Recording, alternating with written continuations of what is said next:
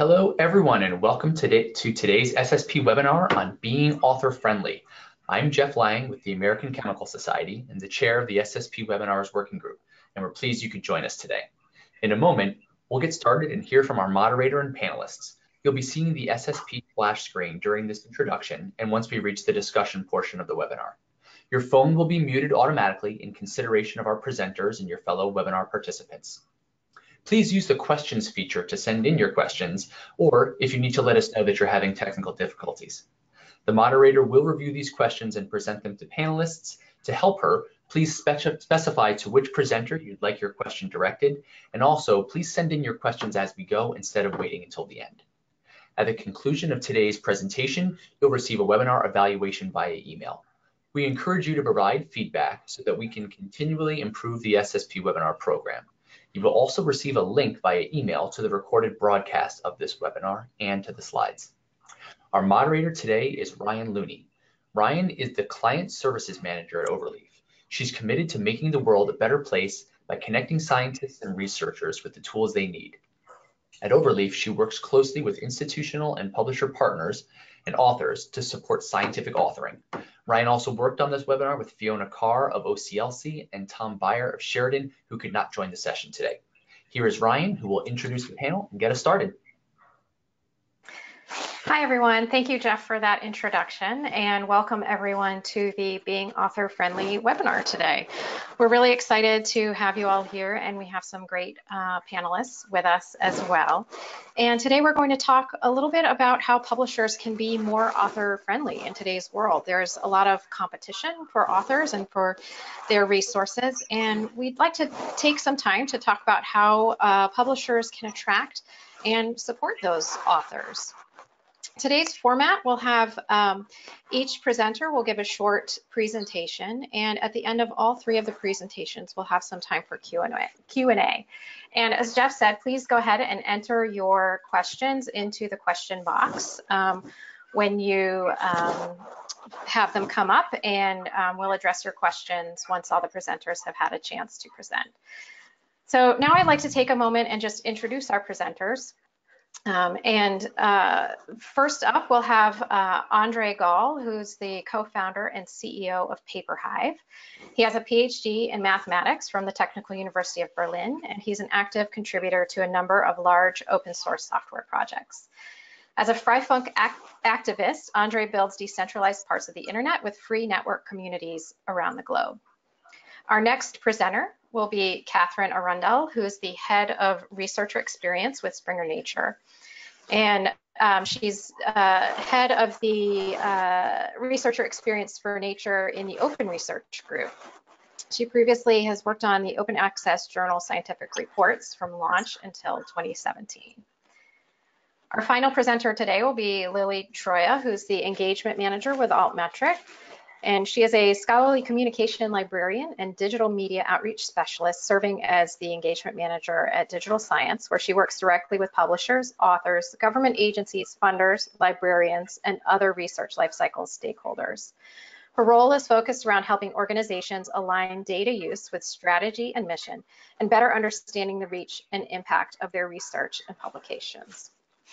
Again, I'd like to thank all of our uh, panelists for joining us today. And Andre will be up first. I have his slides on my screen. So um, let me take just a moment to share my screen with you and then Andre, you can get started. Okay, it looks like uh, like we're up. Andre, please go ahead. Yeah, thank you very much.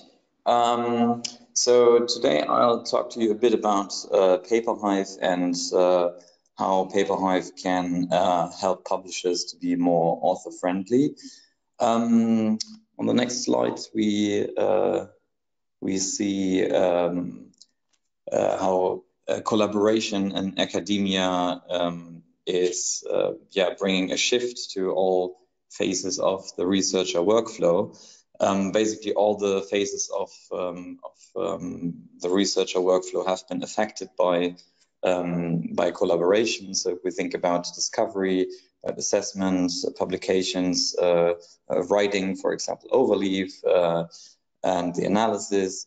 Um, one aspect of the um, of this workflow hasn't been affected uh, so far by collaboration, and that is actually reading. And this is where Paperhive uh, comes in. So um, on the next slide, uh, we see um, what Paperhive actually looks like. So Paperhive is a scholarly collaboration network that is uh, connected to publisher websites. And what we're doing is we're enabling researchers and students to manage, to discuss, and to annotate uh, academic literature in collaboration.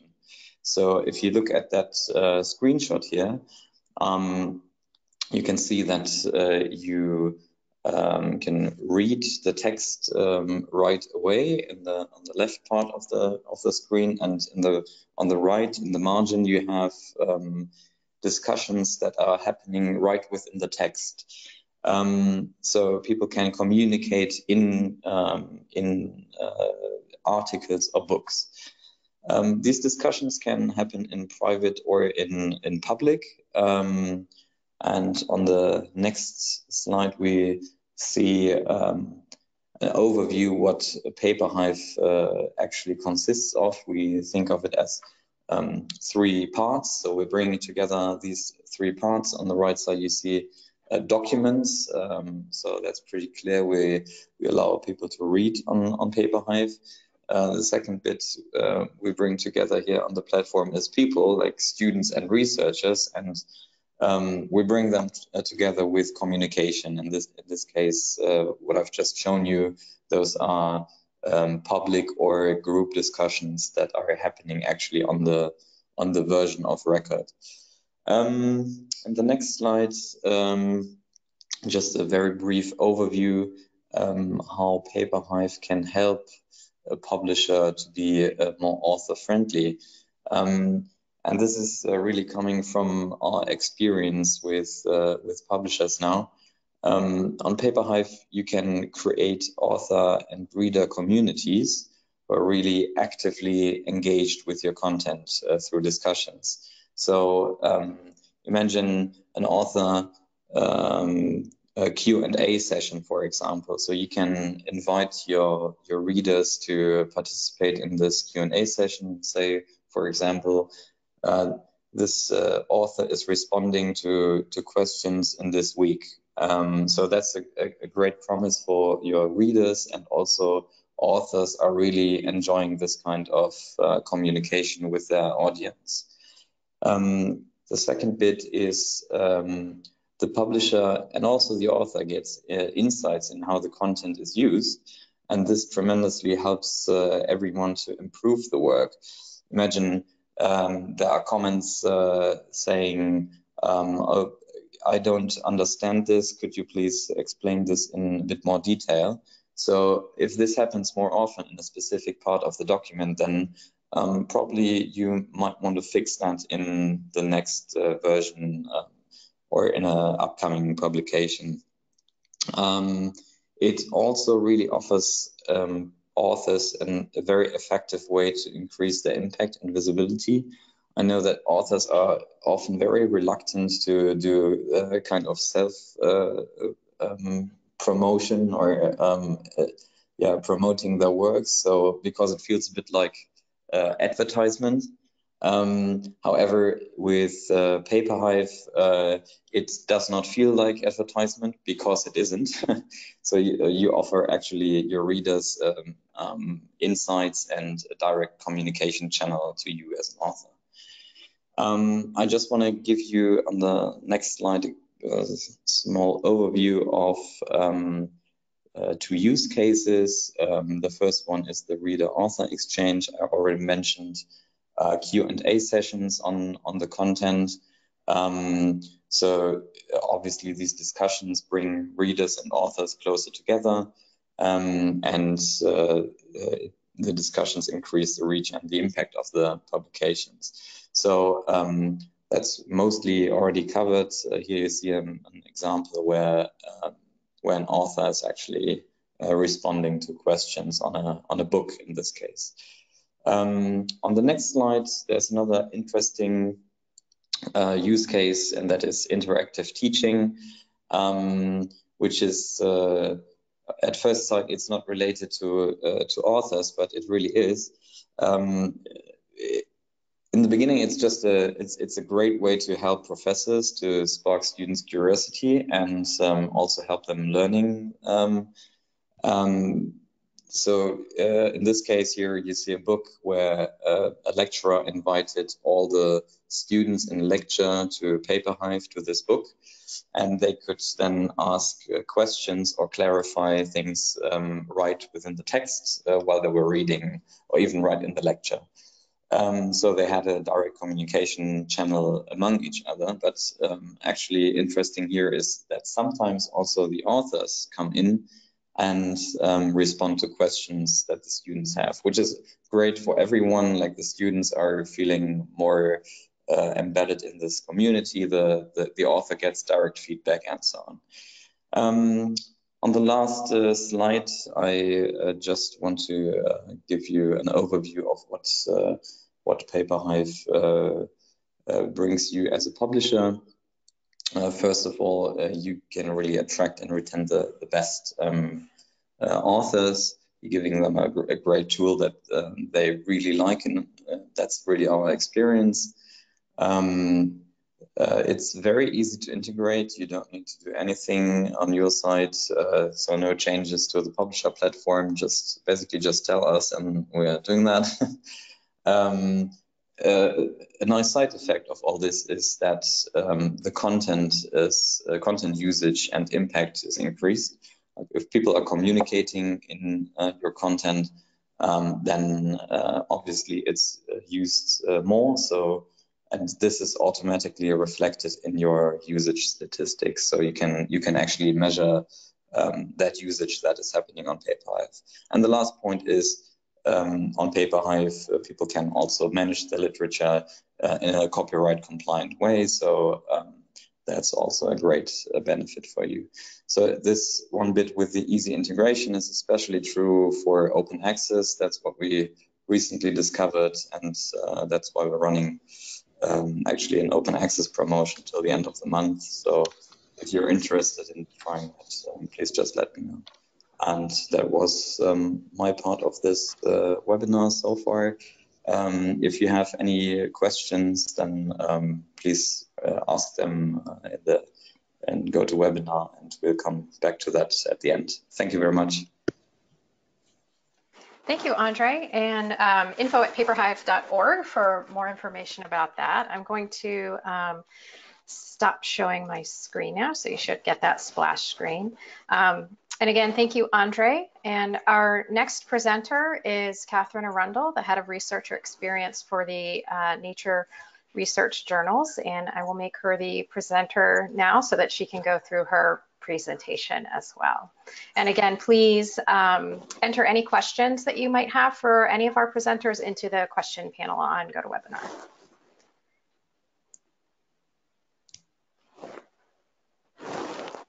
Okay, thank you, Ryan. Uh, can you see my screen? Yes. Okay, fantastic. Um, right, so thanks for the introduction. Um, just give a little bit more background about me. So as the head of research experience, I work with multiple stakeholders from editorial and publishing to technology, product and market intelligence um, to help continuously define what gold standard as an experience is or should be for researchers throughout the publishing lifecycle. Um, I say researchers here rather than just authors, although I realize that the, uh, the webinar is titled for authors, but that's to acknowledge that typically author, reviewer, editor, and even reader are tasks performed by the same person rather than different user groups. And therefore, to best serve the community, you need to consider the full complement of demands on their time. Um, so I started my career working with society publishers and academic journals, and that was before launching um, the Open Access Journal Scientific Reports uh, with formerly Nature Publishing Group and my colleagues here. Um, what that did is afford me a, a, great wealth of experience supporting authors and editors and reviewers uh, from submission right through to publication, promotion, and beyond, um, and really drove my passion for supporting that holistic view of, of researcher experience. So when we consider today's publishing world, uh, we naturally think of what's different, and that can include the increase in research output, which corresponds with an increased demand on researchers' time, um, a growth in interdisciplinary research, the proliferation of new journals and non-journal publication platforms, as well as the rise of multiple community-driven preprint servers and data repositories. Um, at the same time, guidelines and mandates from funders are evolving rapidly, all of which means that there is a great deal more choice for authors. But with that, they are having to deal with increased complexity when it comes to publishing decisions. It's also important um, to take a look at what isn't different with today's publishing world. Uh, and for that, it's very easy to sort of pinpoint um, most publishers' online submission or manuscript handling systems.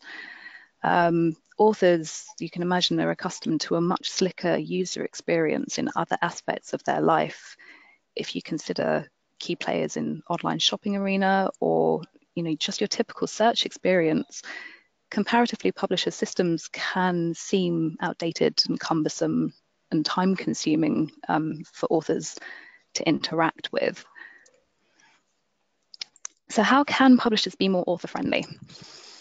Uh, really, to tackle the growth in complexity, I feel we need to help demystify the publishing choices at all stages. Uh, and this can be from providing information and tools. Um, in the top corner there, I've got a little snapshot of the Springer Nature Journal Suggester, which you know you can tap in your manuscript details and it will suggest potential journals to you. Um, or we have a submission plan um, on our early career researcher hub to help you know authors who are just starting out identify the right journal for their work, and that can be obviously in scope or editorial criteria. Um, the idea behind that is, is that if you can help reduce inappropriate submissions, then you help reduce the duplication of effort that goes into peer review across multiple submissions also. Um, and that helps researchers in, in several of their different roles.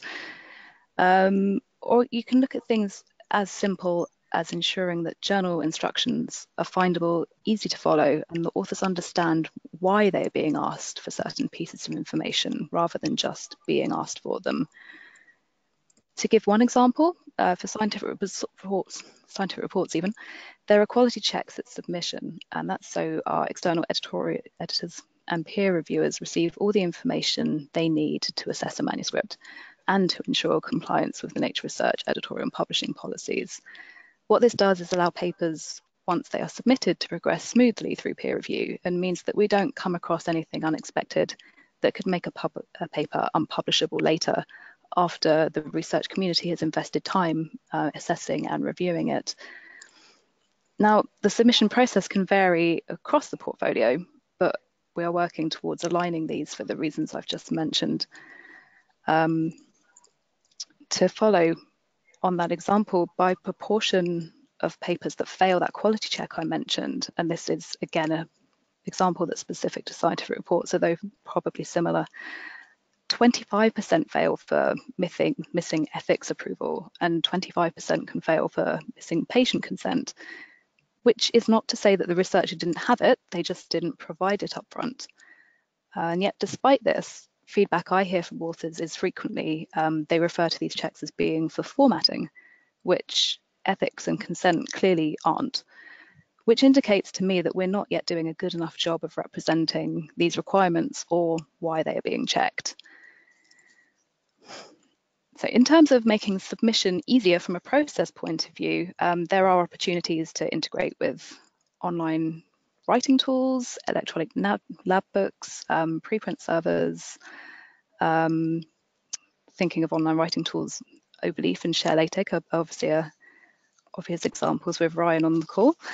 Um, and done properly, you know, these have the potential to reduce submission steps and also to move the article preparation guidance upstream so that elements like the ethical approval that I just mentioned are properly described at the time of writing rather than a new sort of surprise to somebody at the point of submission. Um, more generally, can we make the process of submission easier? Um, authors are very busy and would like to provide the minimum amount of information that is practicable for a submission to be considered.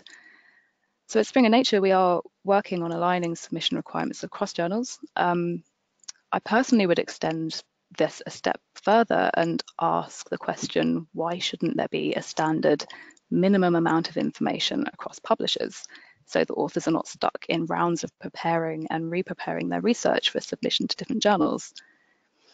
Of course, I'm not suggesting that publishers would or even should join forces with one centralized system or infrastructure. There needs to be space for innovation and competition. But from an author perspective, it would be very attractive to have some level of standardization of submission information and metadata and formatting requirements or lack of that are required to get their paper to a first editorial assessment. Um, again, with making submission easier, another thing we've been doing at Springer Nature is taking steps to try and improve the submission experience for authors. And in 2017, we rolled out a new submission experience to 33 of the Nature research journals. And we continue to make lots of small improvements to simplify the publishing process, all trying to make that task of submitting a paper easier. Moving on a bit, another way that publishers can be more author friendly is obviously to add value. Um, and that can be either during the peer review process uh, by putting things in place to ensure that authors receive constructive feedback on their submissions, um, from providing training resources to reviewers and external editors, that's something that I think would really help because the level of training for these tasks that researchers receive through their institutions can be variable. And by taking responsibility for this as publishers, we can help ensure a consistent quality of peer review and that new and emerging standards are known. And that goes some way, I hope, to giving back to the community that puts so many hours into reviewing research. Um, so to briefly go back to the point about helping demystify the publishing choices, this is a slide uh, that gives a little example of the funding and support services uh, resource from Springer Nature, which is designed to help authors understand the different funder requirements and policies specifically for open access and provide support for those authors who need help paying article processing charges as well as book and chapter processing charges. Um, we also offer research data support. Um, it's an optional range of services to authors who have data sets they want to share, uh, that make citable and improve the discoverability and reuse potential. Uh, this includes services from a free to access data help desk, um, all the way up to Springer Nature's deposition to a Figshare repository uh, that supplies a citable and linkable DOI for data with metadata curation and advice on data presentation and formatting. And this speaks back to the earlier point about the growing complexity of, of just the amount of tasks that researchers really have to answer to get their papers published these days. Um, so yeah, just uh, to wrap up that little whistle-stop tour of the challenges authors face in their interactions with publishers, the simplest way I can think to describe what constitutes a great author experience is just the absence of anything going wrong. Sounds easy, but to be more author friendly, we should work towards reducing the time that they have to spend on publishing and administrative tasks, which is time far better spent on any one of their other many facets of being a researcher. Uh, so yes, thank you. Thank you, Catherine. Um, I really appreciate your presentation. And um, I'm going to now change our presenter over to uh, Lily Troia of Digital Science so she can give her presentation and then um, we'll start answering questions um, after Lily's presentation. So Lily, there you go.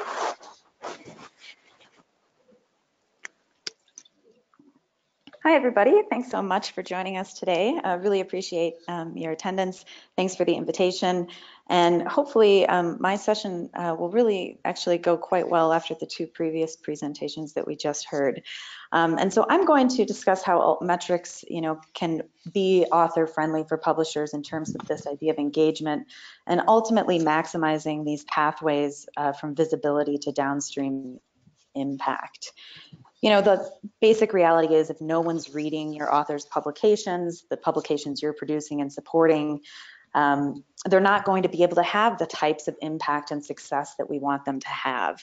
And I think there's a lot of conversations in the current environment right now around this idea between visibility and downstream impact. And that impact is a lot of different things at a lot of different organizations uh, within a lot of different disciplines. Um, so that targeted audiences, helping your authors connect their content to the audiences that can really um, help build upon it, uh, lead to changes in practice, policy, et cetera. Um, this is going to be really key, and I think one of the ways where altmetrics comes into play.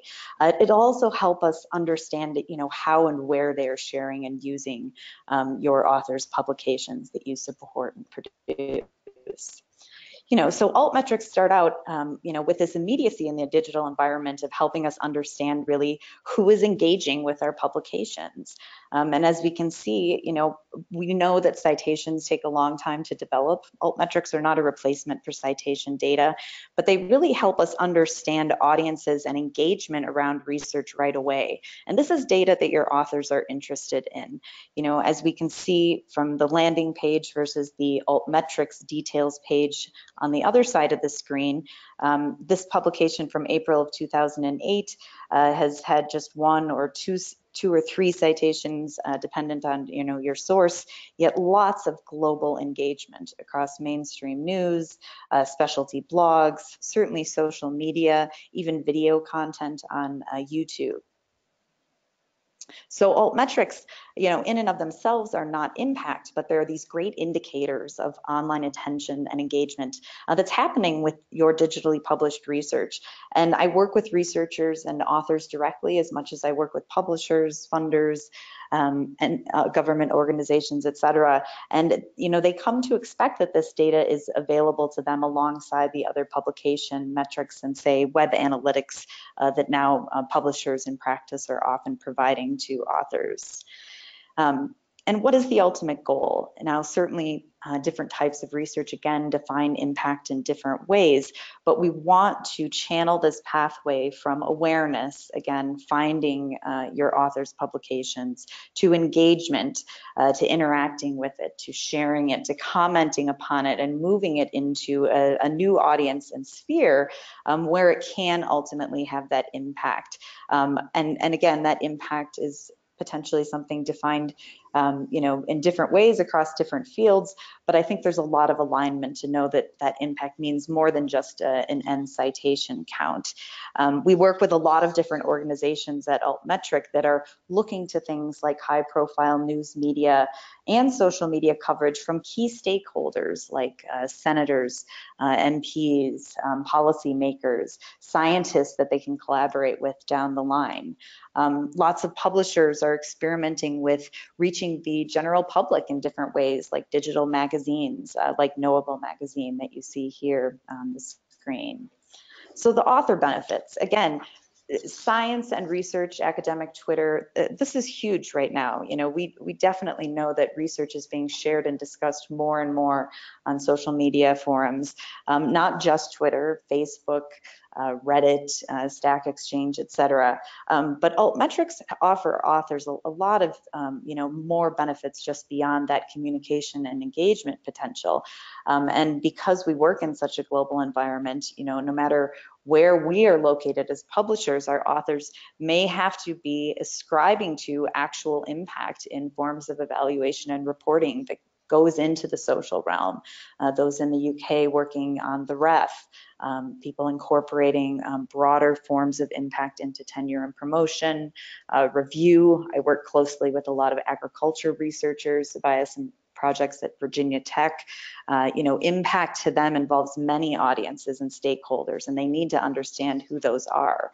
Um, they need to uncover and connect to these collaboration networks, new opportunities, you know, find out what research is being talked about, shared and funded most currently. Um, and then often evidence impact for all types of publications, you know, digital humanities uh, websites, um, reports, learning curricula. As publishers, you can help um, your authors, uh, as just pointed out, say understand how to share their data, um, monographs, you know, these types of publications, not just scholarly articles, can really benefit from the types of information that altmetrics offer us, all these unique online audiences that really are, are a lot of different types of stakeholders. Um, and as um, just mentioned in the previous presentation as well, thanks so much, you know, this idea that publishers, you know, you can work with your authors to better understand and help them chart the pathways from increased visibility to impact which are the right journals for them to publish in.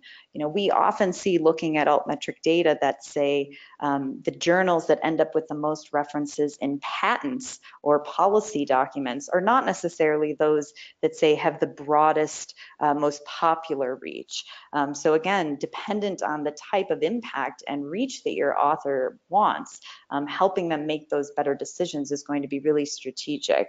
Um, and that ties to which audiences again, and where all of those different audiences are accessing the information. So those distribution channels all tie back to that. And of course, just staying on top of the most current research trends and conversations globally um, and in an interdisciplinary environment. You know, a few examples, you know, altmetric data is um, going to give us the ability to say showcase economic influence uh, and social innovation, charting longitudinal impact um, that your authors can showcase, uh, things like references in uh, global policy documents, um, patents. You know, at Altmetric specifically, um, while certainly social media is a strong source of altmetric attention, the second largest source of data that we find references to publications in is intellectual property patent applications. Um, so, you know, we're, we're getting that data from a huge patent um, database, IFI claims, which is part of the digital science umbrella. You can audit that via dimensions pages related to the patents as well.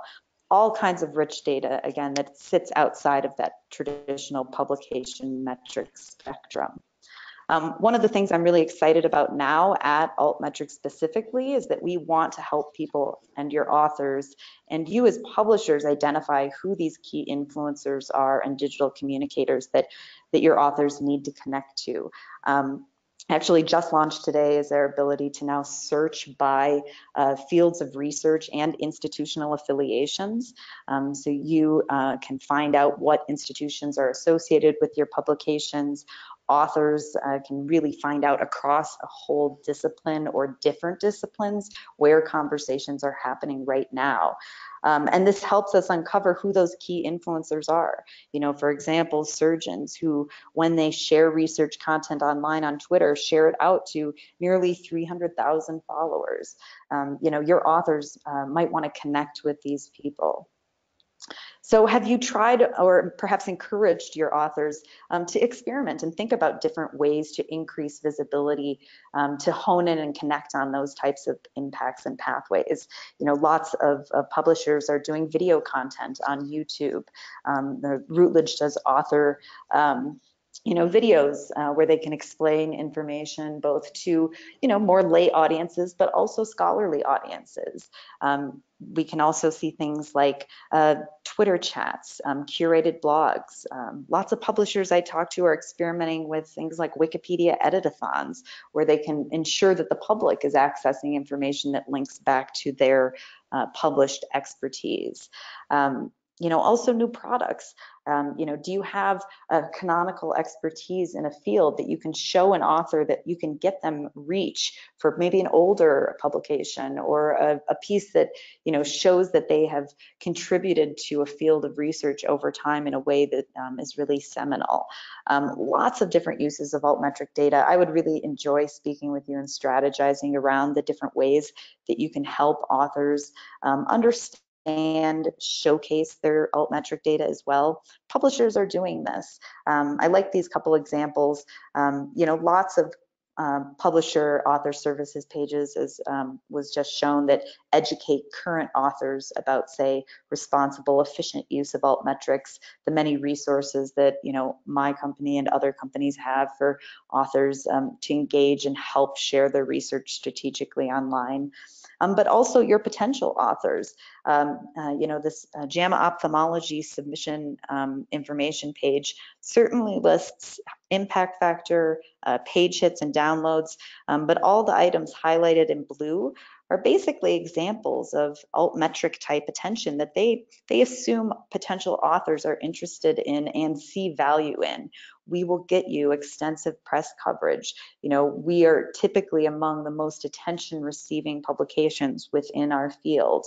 You know, not only citations, um, but again, broad reach via all these different channels. You know, the, the amount of publications, you know, the time constraints referenced uh, just previously, authors do want to know that, you know, you're able to help them get their research out in this strategic way and not just your authors, letting your readers who are also potential authors and reviewers know about altmetrics.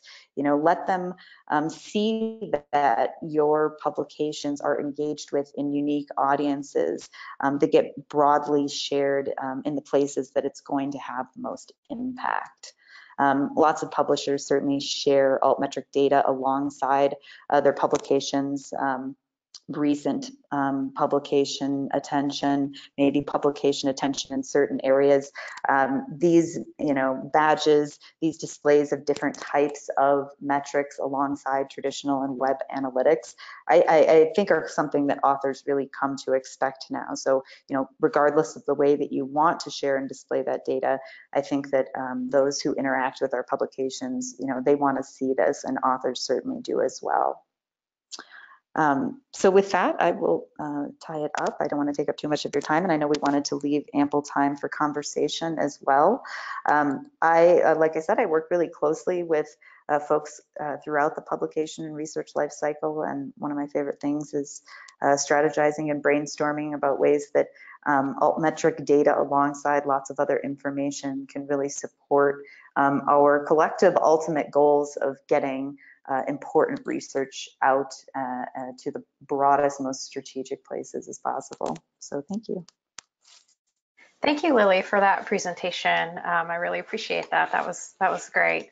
Um, so we do have quite a few questions already that are coming through the, the question panel. And so please um, continue to write in your questions, but um, I'll, I'll start asking those out to our presenters now. So um, one of the questions that we had come in early um, was for Catherine, just to clarify um, what ethics approval is and where that falls um, within your author submission process. Uh, yeah, absolutely. So um, ethical approval, speaking for the for the journals that I work with, um, applies to animal research, but also to human participants, human samples, um, and it's important within clinical research as well. Um, and that is obviously just to check that authors gained all the correct approvals to do the research before doing it. Um, and then beyond that, they also have to specify that in the research so that readers know who approved something um, and so on. Um, there's more to it than that, but I'm afraid I don't do the checking of this and haven't done for All some right. time. So the the exact things, but yeah, there's there's a there's sort of from an author's point of view, there's a there's a two to three step process, and one is gaining the correct approval before they even do their work. The second is ensuring that they have done the work in accordance with the approvals that they received so that they are not changing the experiments in any way from what was approved. And then thirdly, when it comes to publication or not even just publication, but peer review, we need to know, our editors and our reviewers need to know and have that information available to them so that they can be sure that the work they're assessing had correct approvals. Thank you. Uh, yeah, thanks for that explanation. And then um, kind of a follow on to that question, how did you find out what the author pain points were in that submission process? Did you use surveys? Did you talk to them directly?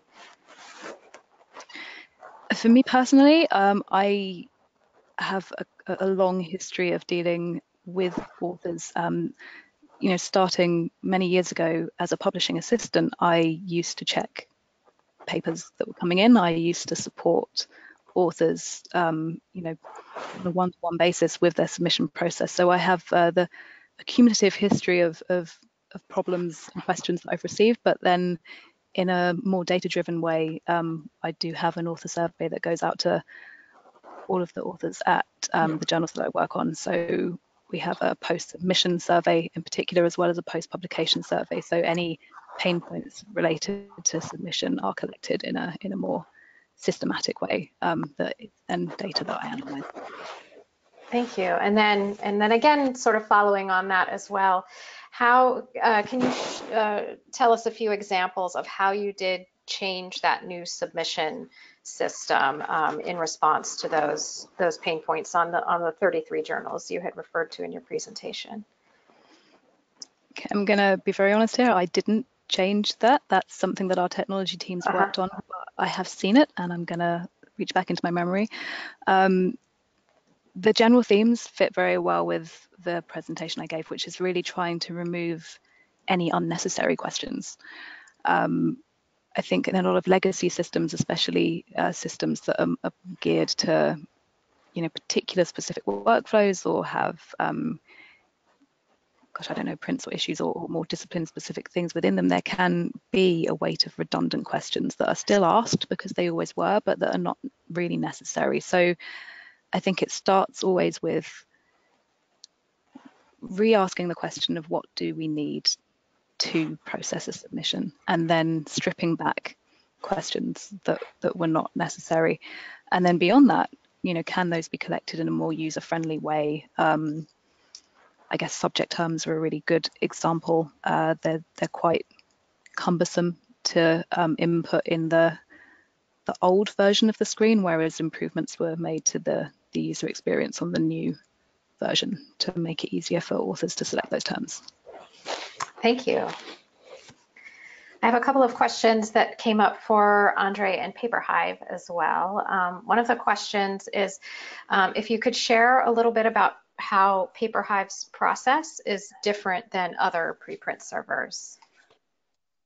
Yes, um, Paperhive is not really a preprint server, so um, it's uh, um, uh, basically we include all kinds of uh, of content. So this includes um, preprint servers. So we we also um, fetch documents from uh, uh, from arXiv, for example but um, primarily we actually integrate content that is coming from uh, publishers directly. So, um, and this is um, actually quite interesting because we are not hosting any of the content uh, that you can read on Paperhive. Um, we just pull in the documents dynamically from the publisher website whenever a reader is um, opening um, such a document on Paperhive. Um, and one of the benefits of that is that um, you directly see all usage that is happening on Paperhive. Um, you see all the usage on on your uh, platform and your metrics that you um, have already. So you don't need to add not yet another um, feed of data uh, to benefit from uh, from um, the Paperhive usage. Um, and also the, the, other benefit is that it's very easy to integrate. Uh, so um, we only fetch metadata from Crossref, and uh, then every time a user opens a document, uh, we, we try to fetch that document from your platform, and uh, it respects your um, um, your authentication that you have in place. Oh, that's that's great information. Thank you, Andre. And then another follow-up question for you is, um, if an author is offended by reader comments, can those offensive comments be deleted? Is there any control that um, the platform or the author has to, in effect, moderate those comments?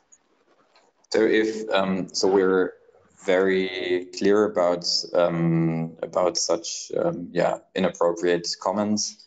Um, so a they're not uh, this is not allowed by our um, by, by, our terms of service. Um, so if you if you don't oblige, then we might just delete that. And um, if it's even if it's worse, if it's like uh, hate speech or uh, threats or something like that, then we immediately remove these comments as soon as we are aware of that, um, which is actually our duty under uh, German law and we're happy to remove this kind of content. But everything else that is, um, let's say, is not illegal, this um, will stay on the platform.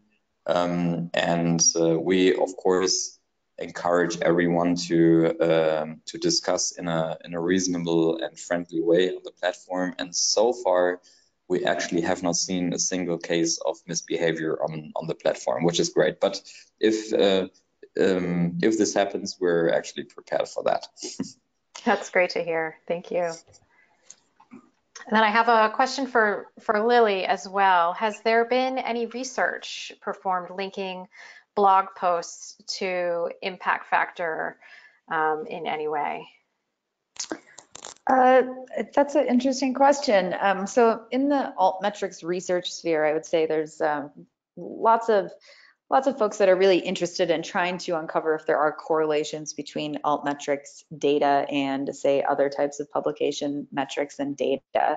Um, the uh, I would say one the impact factor versus say altmetric data, remember altmetrics are at an article or output level. So there wouldn't necessarily be an analogous direct comparison, say, to an impact factor. But there have been lots of studies that are trying to understand uh, whether or not altmetric data, early indications of, of attention around research publications can allude to potential downstream impact. Um, one research piece that came out last year in Scientometrics uh, looked at specifically this idea of blogs and downstream citations um, and found that across uh, 15 different disciplines when research was blogged about, uh, so when it was shared in some sort of uh, curated or synthesized, again, uh, way, not necessarily just for a broader uh, public audience, um, it did lead to an increase in citations. Um, we've heard this anecdotally from research for a couple years. It's been something um, um, a researcher um, has mentioned to us, say, you know, when I blogged about my research, I found that, of course, traffic increased to those publications, and then later those were built upon more with citations. Um, but the research piece I just referred to is really interesting because across 15 different disciplines, disciplines uh, uh, STEM and social science, there was a 5% increase uh, when research that had been blogged about um, then in, in citation counts down the line, but specifically was very high in a lot of fields um, that some of which would have surprised you. So certainly something like health professions and nursing, there was an over 35% increase, uh, medical and medicine sciences over 24, but some areas like economics, um, math, um, you know, uh, areas that we don't necessarily assume get a lot of kind of high social engagement saw increases well over 10%. Um, my kind of theory is that, you know, in addition to simply a blog type format being able to get information to different and new audiences that researchers and authors themselves are really looking to these new formats to try to connect to the newest most relevant publications um, that you know maybe do cross interdisciplinary boundaries um, then show the way that say research is moving and uh, makes sense that those ones would then be um, accessed read and built upon more quickly Thanks, Lily. That's really interesting. Um, I have one question that might be um, directed toward toward everyone, and I know it's something that that I've thought a lot about as well in my career in scholarly publishing. But um, what are your ideas and suggestions to motivate peer reviewers, and how might that help turn around the time to publication? I know from my own experience that um, both finding reviewers um, who might be eligible to review and then getting those reviewers to agree to review and then um, actually collecting those reviews can sometimes be a lengthy process. And and how might some of these author friendly um, ideas and initiatives affect peer review as well?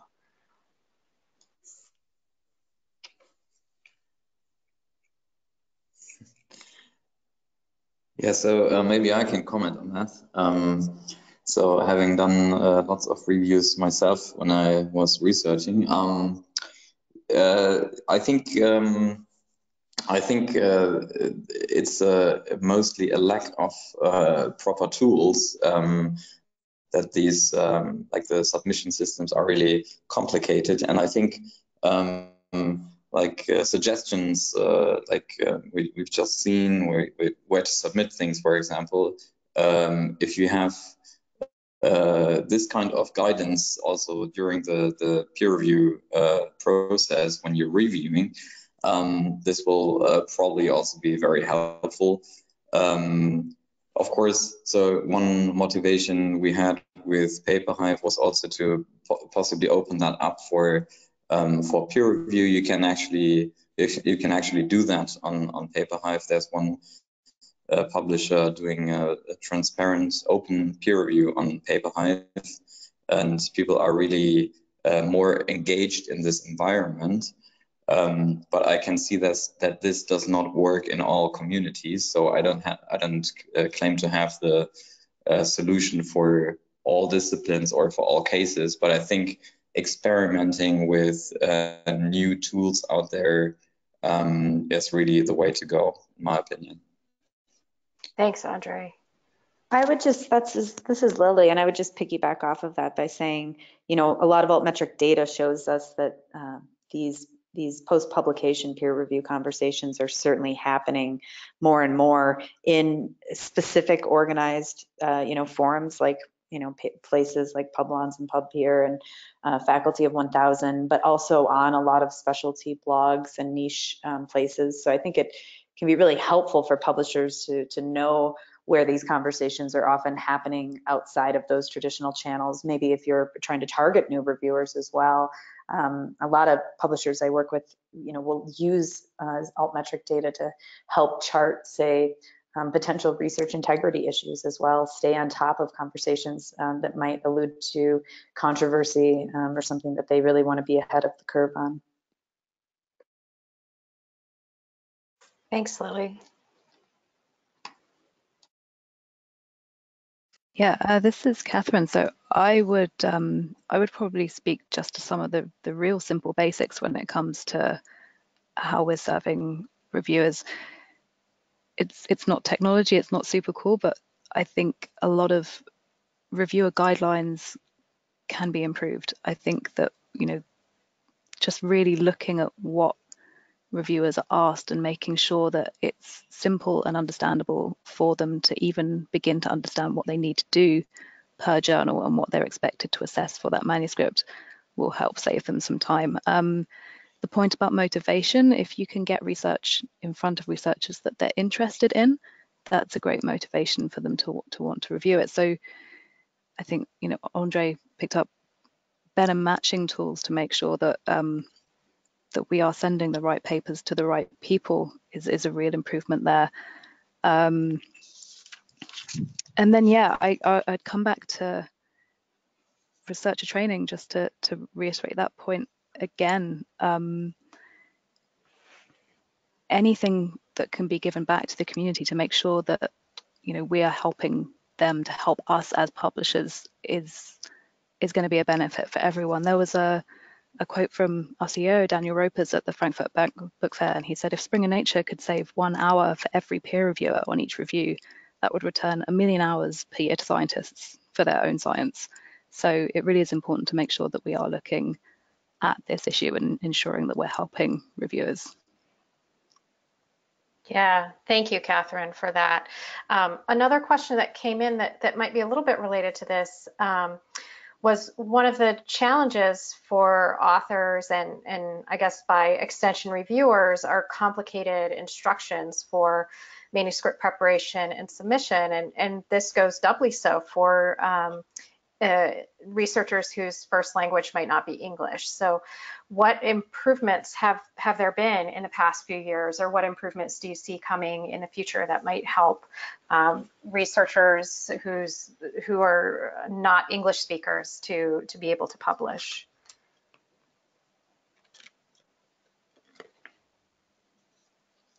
I'm sorry, was that directed at me?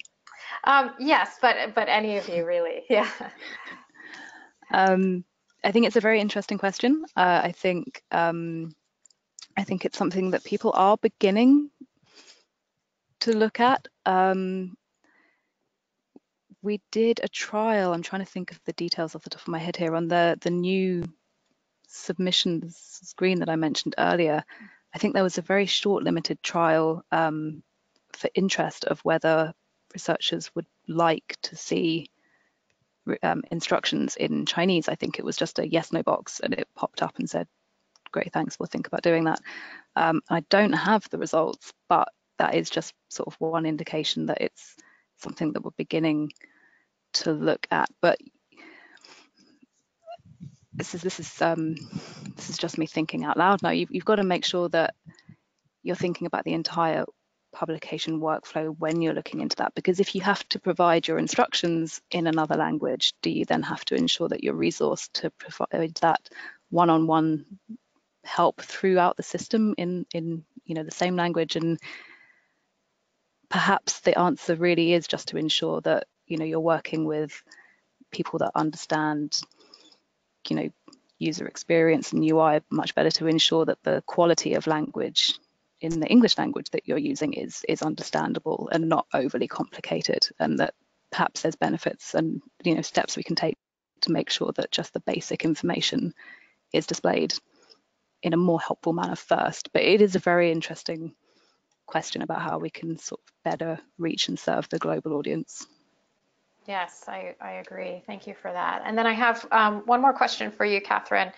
Um, someone was asking, is your new submission system uh, a front end on a traditional system like ScholarOne, or is it an entirely new system that also does peer review management? Uh, so I I spoke about a, a submission form. So that's not a system. Mm -hmm. It's just a submission form, sadly. okay.